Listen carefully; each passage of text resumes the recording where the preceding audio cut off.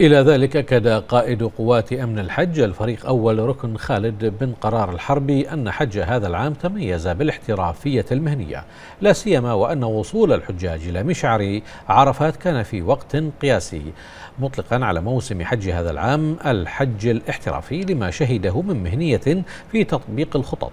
وتميز بانسيابية الحركة المرورية وتنظيم في حركة المشاة. هذا ونشرت وزارة الداخلية السعودية أكثر من 100 ألف فرد أمن خلال موسم الحج هذا العام واستخدمت التكنولوجيا الفائقة للحفاظ على سلامة الحجاج.